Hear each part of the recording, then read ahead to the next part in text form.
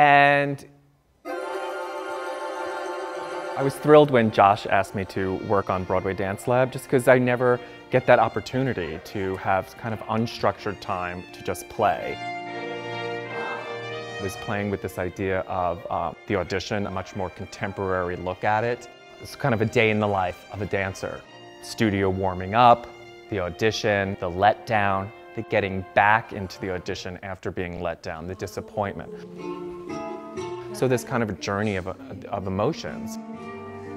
That happens in dancer lives, but it also happens in choreographic lives and choreographers' lives. To me, that's also been an incredible gift to Broadway Dance Lab, is that it's a way for me to regroup, re-energize, re and exercise my craft and build that confidence up.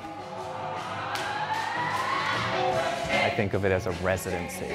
So it's like this dance residency where you really get to explore, and that takes time, energy, including the most important part being the dancers. So this Broadway Dance Lab really One, provides two, all three, of those four, resources. Five, six, seven, eight, two, two, three, four, five, six, seven. What an incredible gift. I think what we created is so special because of that free playtime.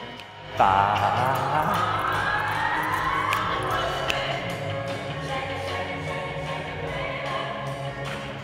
is awesome.